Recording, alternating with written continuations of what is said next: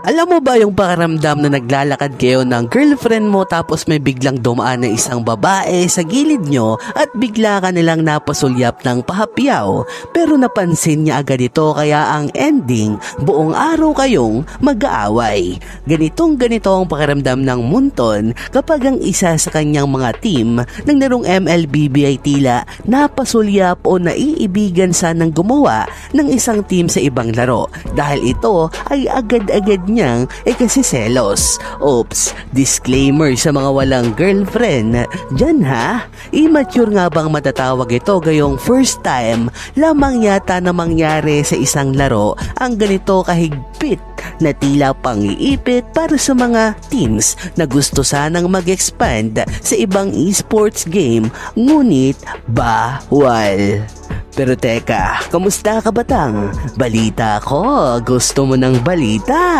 Itabi mo at ako na, kaya ano pa ang inaantay natin? Umpisahan na yan, tara. Unang-una tayo ay dumako sa tila pagsiselos na naman ng munton sa mga kupunan na siyang matatawag niyang hindi lamang ang larong MLBB ang pinagkakaabalahan. At ang kaso na ito ay hindi na bago sa lahat dahil noon pa man ay alam na natin ay pinagbabawal ng munton para sa kanyang mga franchise teams ang gumawa ng ibang team sa ibang mga laro. Parang noong nag-uumpisa ang Wild Rift at nag-aakmang magsimula na nga sa Pinas na kung saan kanya-kanya nang gawa ng mga kupunan ng mga org na nasa MPL kagaya ng Blacklist, Bren at Omega. Ngunit ito ay ipinagbawal nga ng Munton. Meron kasi siyang inoffer na tinawag nga nila bilang exclusivity na kung saan sa oras na hindi ka gagawa ng ibang team sa ibang mga laro abay makakatanggap o matatanggap o may matatanggap kapang benepisyo mula kay Munton. At kaya nga nagkaroon rin ng issue sa RRQ Hoshi noong nakaraan nang dahil sa paggawa ng mga ito ng sariling koponan sa larong Pokemon at hindi nga ito nagustuhan ng Munton. Hindi ba't sobrang pagsiselos ng Munton sa Pokemon ay nag-chat pa mismo sila sa CEO ng RRQ na kung hindi ba ito natatakot na mawala ng slot sa MPL Indo, ganon kalala ang pagsiselos ni Koya mo.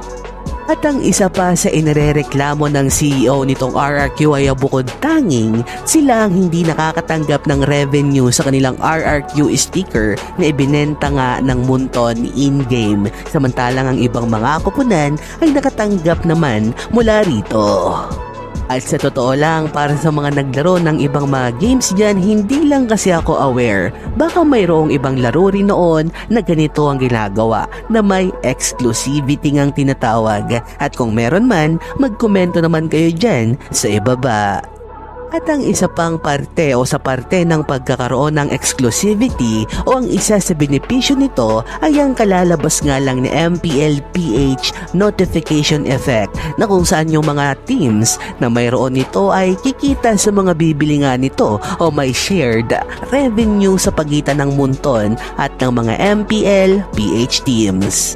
Unang-una makita mo yung kupunan na AP Bren na, na kung saan isa yung team na ito noon sa mayroong Wild Rift team pero agad, agad rin nilang dinisband matapos ngang magkaroon ng exclusivity. At syempre, sa totoo lang hindi rin naman kasi lumakas ang larong ito dito sa Pinas. Kumbaga sa totoo lang yung exclusivity ni Munto na pwede mo pang tanggihan kung talagang pumutok ang WR dito sa atin. Pero sabi nga nila, tuluyan itong namatay kaya nawalan rin ng gana yung mga naglalakihang mga org sa Pinas. At kitang kita naman natin ang MPL-PH notification nila mula kay Munton. Sinundan nga ito ng Echo PH na kung saan ang astig nga naman ang kanilang notif effect dahil kasama pa mismo ang kanilang mga picture na naka-anime na nagpapakitang mahal na mahal talaga ng mundo nitong Echo. At ang pangatlo naman ay ang EVOS na kung saan tila ngayon pa lang ay ni-reveal na nga agad ng mundo na yung EVOS ay minana ng minana o baka naman malito ka pa. Sinundan ito ng pang-apat which is yung Omega at isa ang team na ito sa may Wild Rift team rin noon. Pero ito ay dinisband na rin noong 2021 pa. Pero mayroon pa rin CODM team ang Omega pero parang okay lang kay Munton. Dahil FPS naman yon at hindi MOBA games kaya pasok pa rin siya sa banga at ang panglima na koponan ay itong Onic PH na syempre loyal na loyal yan kay Munton. Mapa PH team o Indo team ng Onic, abay Munton lang, sapat na. At ang pang-anim ay itong RSGPH na kung saan ang mga ito ay mayroon ring ibang mga laro kagaya ng Dota 2 pero sa aking pagkakaalam, nagdisband na rin sila ng ibang laro at nag-focus na lang rin sa larong MLBB.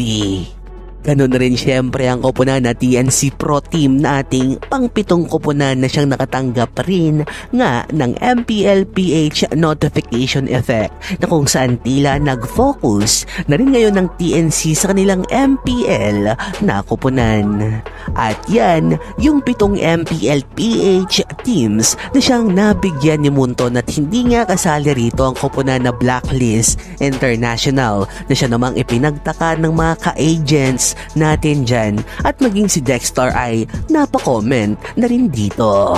At dito nga ay may nagkomento na kaya pala wala ang blacklist na notif effect ay dahil hindi na-meet ng blacklist ang requirements dahil hindi nga pwedeng magkaroon ng ibang team sa ibang laro ang isang franchise, team ng MPLPH at itong blacklist ay kasalukuyang mayroong Dota 2 team at Wild Rift team na sa madaling salita hindi sila nag-agree sa exclusivity ng munto na parang RRQ Hoshi.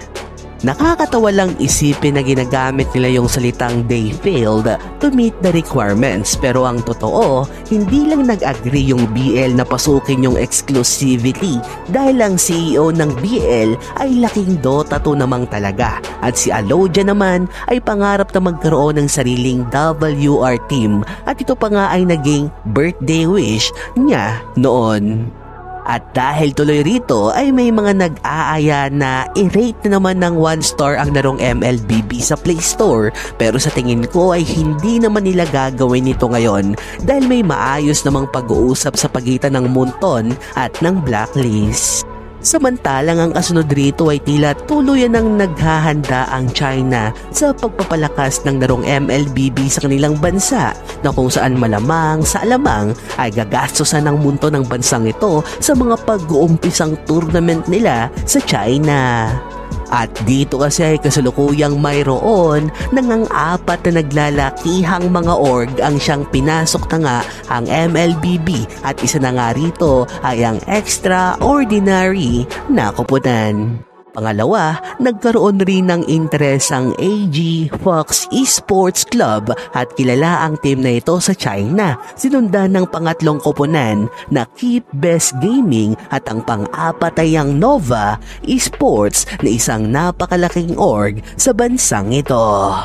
Pero hindi pa malinaw kung isa sila sa makakasali sa F5 dahil parang gahol na yata sila sa oras. Ngunit isa lang ang masisiguro ko, sa M6 malamang sa alamang may China nang ang kasali. At sa katunayan ng hinahanap talaga mismo nila ay yung mga players na may experience na nga sa LOL mobile game at naging pro player na may mataas na rank mismo sa larong ito na ibig nilang sabihin isang napakalaking digmaan nga ang darating sa international scene ng larong MLBB. At kung sa ngayon ay kinakaya na tayo ng Indonesia, abay tila may isang bansa pa ngayon nang siyang mag-uumpisang dapat rin nating paghandaan dahil kilala natin ang China pagdating sa usapang esports. Dahil sa tingin ko ay hanggang dito na lang muna ang ating kwento patungkol sa isang matindihang silosan sa pagitan ng Munton, Blacklist at RRQ pati na rin sa tuluyang pagpasok ng mga Chinese teams sa larong MLBB. Yun lamang po at maraming salamat. Stay at home at parating mag-iingat. Mahal na mahal ko kayo. Legit at big time. Mwah!